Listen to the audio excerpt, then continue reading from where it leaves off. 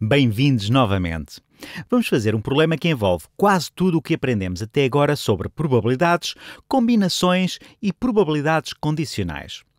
Então, digamos que temos um saco. Nesse saco temos 5 moedas não viciadas e 10 moedas viciadas. Para uma moeda não viciada, claro, temos uma probabilidade de 50-50 de obtermos cara ou croa. Para a moeda viciada, digamos que há 80% de probabilidade de conseguirmos uma cara em cada uma destas moedas e há uma probabilidade de 20% de obtermos croa. Certo? Porque vai sair-nos cara ou croa. Então, o que vai acontecer é: coloquei a mão dentro do saco, os meus olhos estão fechados e agarrei uma moeda.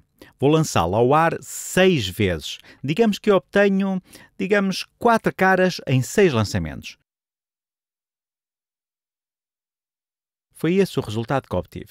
O que quero saber é qual é a probabilidade de ter escolhido uma moeda não viciada, dado que obtive quatro caras em seis lançamentos. Portanto, antes de seguirmos em frente, vamos rever o teorema de Bayes. Acho que é bom enquadrarmos este problema. Assim, o teorema de Bayes, e vou escrever neste canto aqui em cima, diz-nos a probabilidade de A e B acontecerem Aquele U, ao contrário, é apenas um símbolo para a interseção em teoria dos conjuntos, mas neste caso diz-nos essencialmente que é o conjunto de acontecimentos em que tanto A como B acontecem simultaneamente. Isto é igual à probabilidade de acontecer A dado B, vezes a probabilidade de B, que também é igual à probabilidade de B acontecer dado A, vezes a probabilidade de A. Espero que isto faça sentido para vocês. Se não fizer, talvez seja boa ideia verem os vídeos sobre probabilidade condicional. Mas o que podemos fazer é reorganizar esta equação aqui para obtermos. Ora, se dividirmos ambos os lados pela probabilidade de B, obtemos a probabilidade, vamos fazer isto com uma cor vibrante, a probabilidade de A dado B é igual à probabilidade de B dado A vezes a probabilidade de A a dividir pela probabilidade de B. Pegamos apenas nesta equação, dividimos ambos os lados pela probabilidade de B e obtivemos isto. Então, o que é A e B no problema que estamos a tentar resolver? Estamos a tentar descobrir a probabilidade de termos tirado uma moeda não viciada, tendo em conta que obtivemos 4 caras em 6 lançamentos. Nesta situação, A representa o acontecimento de obtermos uma moeda não viciada. A representa a escolha de uma moeda não viciada. Depois B representa obter 4 caras em 6 lançamentos. Assim, de modo a descobrir a probabilidade de escolhermos uma moeda não viciada, tendo em conta que obtivemos 4 caras em 6 lançamentos, temos de saber a probabilidade de obtermos 4 caras em 6 lançamentos dada a escolha de uma moeda não viciada, vezes a probabilidade de escolhermos uma moeda não viciada, a dividir pela probabilidade de obtermos 4 caras em 6 lançamentos em geral. Então, esta é provavelmente a parte mais difícil de descobrir. Ao longo do nosso percurso, iremos provavelmente descobrir os dois fatores de cima. Portanto, qual é a probabilidade de B ou a probabilidade de obtermos 4 caras em 6 lançamentos? Vamos ver o que acontece. A partir do momento em que enfia a mão no saco e tira uma moeda, existe uma probabilidade de 5 em 15, sim, porque são 15 moedas no total, de tirar uma moeda não viciada. Por isso, 5 em 15 é o mesmo do que um terço de tirarmos uma moeda não viciada. Depois, há uma probabilidade de 2 terços de tirarmos uma moeda viciada. Agora, tendo em conta que temos uma moeda não viciada, qual é a probabilidade, tendo esta moeda não viciada, qual é a probabilidade de obtermos 4 caras em 6 lançamentos?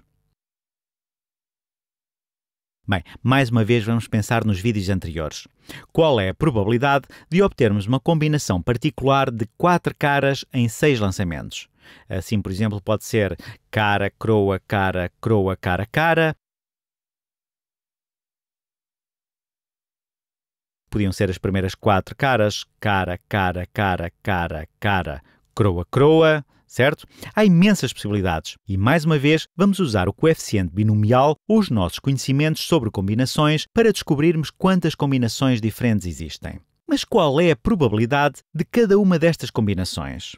Bem, qual é a probabilidade de obtermos caras? Isto é 0,5 vezes 0,5 vezes 0,5 vezes 0,5 e a probabilidade de croa, tendo em conta que é uma moeda não viciada, também é 0,5 vezes 0,5. Então há uma probabilidade 1 meio de obtermos cara, vezes a probabilidade 1 meio de obtermos croa, vezes a probabilidade 1 meio de obtermos cara, vezes a probabilidade 1 meio de obtermos croa, etc. Então, cada um destes é essencialmente 1 meio vezes 1 meio, 6 vezes. Assim, a probabilidade de cada uma destas combinações é 1 meio elevado a 6. E agora, quantas combinações como estas existem? Dos seis lançamentos, estamos essencialmente a escolher 4. Estamos a escolher 4, exatamente 4 caras em 6 lançamentos. Estamos a escolher 4 de exatamente 6 lançamentos para ficarmos com caras, certo? Vamos escolher qual dos lançamentos será selecionado, por assim dizer. Portanto, essencialmente 6 lançamentos, escolhemos 4 para serem caras. Então, este é o número de combinações únicas onde temos 4 caras em 6 lançamentos, vezes a probabilidade de cada uma destas combinações, que é 1 meio elevado a 6. Bem, o que é combinações de 6 4 a 4? É 6 fatorial sobre 4 fatorial vezes 6 menos 4 fatorial, que dá 2 fatorial. Isto tudo vezes 1 meio elevado a 6. Vamos mudar novamente de cores. É só para não ser monótono. Isto é igual a 6 vezes 5 vezes 4 vezes 3 vezes 2 vezes 1. Não temos de escrever 1 vezes 1, mas vou fazê-lo de qualquer maneira. Sobre 4 fatorial. 4 vezes 3 vezes 2 vezes 1. Depois 2 fatorial. 2 vezes 1. Este cancela aquele, podemos ignorar o 1, dividimos o numerador e o denominador por 2 e ficamos com 3.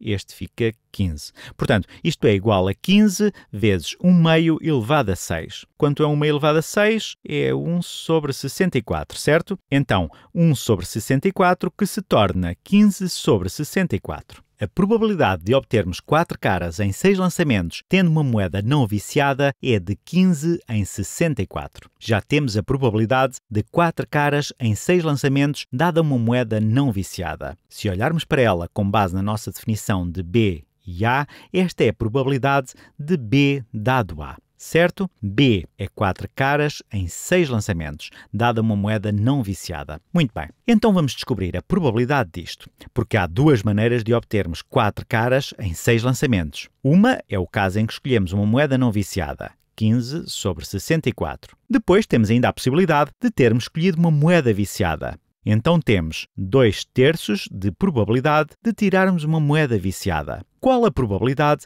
de obtermos 4 caras em 6 lançamentos, dada a moeda viciada? Bem, mais uma vez, qual é a probabilidade de cada uma destas combinações onde obtemos 4 em 6? Assim, esta situação vai ser semelhante. Cara, croa, cara, croa, cara, cara. Isto é, 4 caras em 6 lançamentos. Mas nesta situação não é uma probabilidade 50 de obtermos caras, é 80%. Então será 0,8 vezes 0,2 vezes 0,8 vezes 0,2 vezes 0,8 vezes 0,8. Agora, essencialmente podemos reorganizar esta multiplicação, porque não importa a ordem pelo qual multiplicamos os números. Portanto, é 0,8 elevado a 4 vezes 0,2 ao quadrado. E não importa, qualquer uma destas combinações únicas terá a mesma probabilidade, pois podemos apenas reordenar a ordem de multiplicação. De seguida, quantas destas combinações existem? Se formos mais uma vez escolher 4 em 6 lançamentos, estamos a escolher 4 que vão ser caras. De quantas maneiras posso escolher um conjunto de 4? Bem, mais uma vez trata-se de, em 6 lançamentos, escolhermos 4. Já descobrimos o que é. Combinações de 6, 4 a 4 é igual a 15. Então isto é igual a 15 vezes 0,8 elevado a 4 vezes 0,2 ao quadrado. Esta é a probabilidade de 4 caras em 6 lançamentos, dada uma moeda viciada. Então, qual é a probabilidade total de obtermos 4 caras em 6 lançamentos? Bem, isso vai ser a probabilidade de obtermos a moeda não viciada, que é um terço, vezes a probabilidade de obtermos 4 caras em 6 lançamentos, dada uma moeda não viciada. E isto é 15 em 64. mais a probabilidade de conseguirmos uma moeda viciada, 2 terços, vezes a probabilidade de obtermos 4 caras em 6 lançamentos, dada uma moeda viciada. E isso é o que descobrimos aqui. Vezes 15 vezes 0,8 elevado à quarta vezes 0,2 ao quadrado. Esta é a probabilidade de obtermos 4 caras em 6 lançamentos. Vamos descobrir o que isto é. Este cancela este, isto torna-se 5 de 64, não há que enganar. 2 terços vezes 15, que é 10.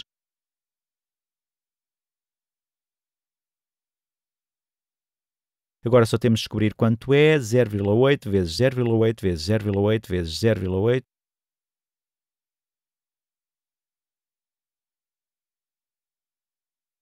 é igual a, depois vezes 0,2 ao quadrado, vezes 0,2, vezes 0,2 é igual a 0,016. Então é isso. Dissemos vezes 10, não foi? Porque é 2 terços vezes 15. Vezes 10 é igual a 16,384%.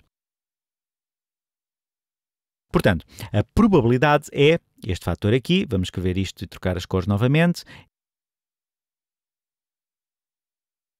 é 0,16384. Vamos somar isso a 5 e dividir por 64. Ora, vejamos.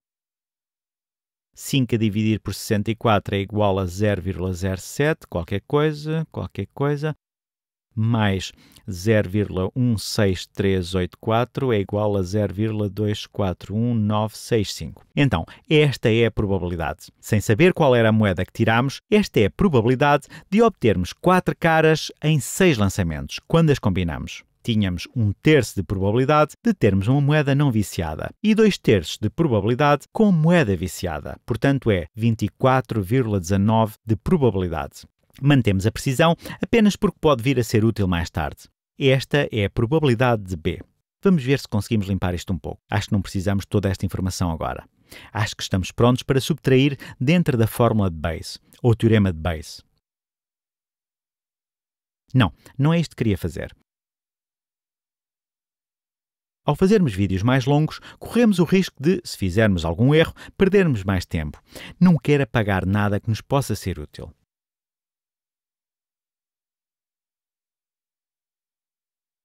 Muito bem. Então vamos ver se conseguimos calcular a probabilidade de termos tirado uma moeda não viciada, dado que temos 4 caras em 6 lançamentos.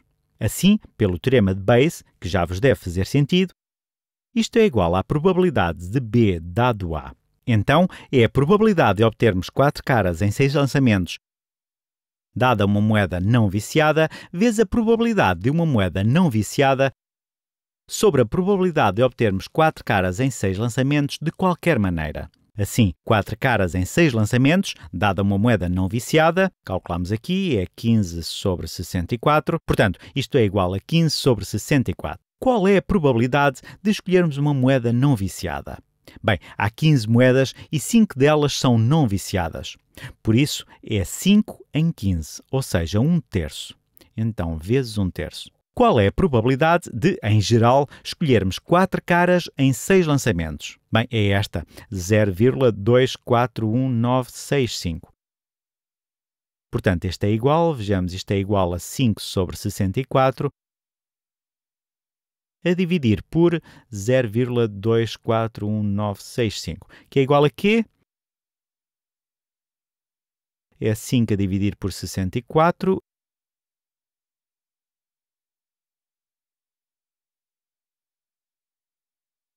a dividir por 0,241965 é igual a 32.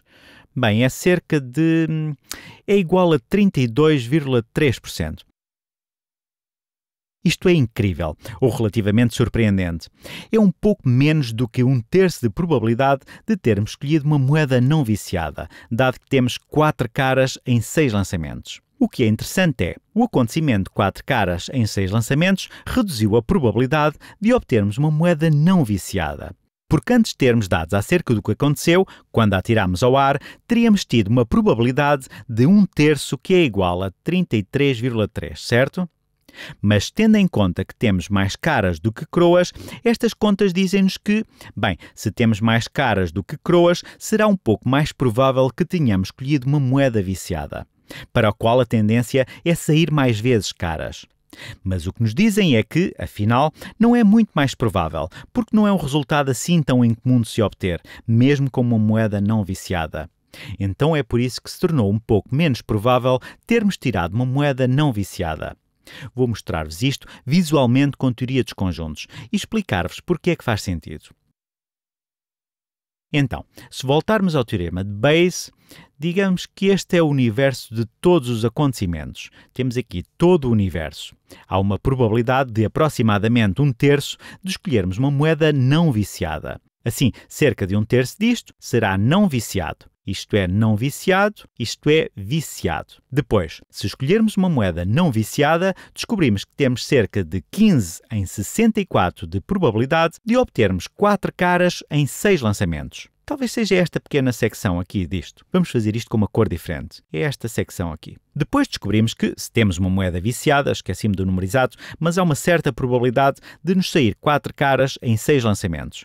É, na verdade, um pouco maior. É assim. Então, isto representa 4 caras em 6 lançamentos, dada uma moeda viciada. Isto é, obtermos 4 caras em 6 lançamentos, dada uma moeda não viciada. Toda esta área é a probabilidade de obtermos 4 caras em 6 lançamentos. Assim, o que o teorema de Bayes nos disse foi: temos 4 caras em 6 lançamentos. Estamos dentro deste universo em que temos 4 caras em 6 lançamentos.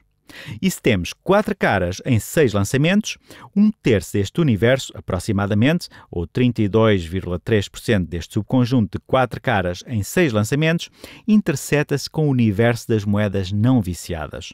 Portanto, este 32,3% é esta fração da probabilidade total de obtermos quatro caras em seis lançamentos. De qualquer forma, espero que tenham ficado a perceber melhor esta matéria. Vemo-nos no próximo vídeo.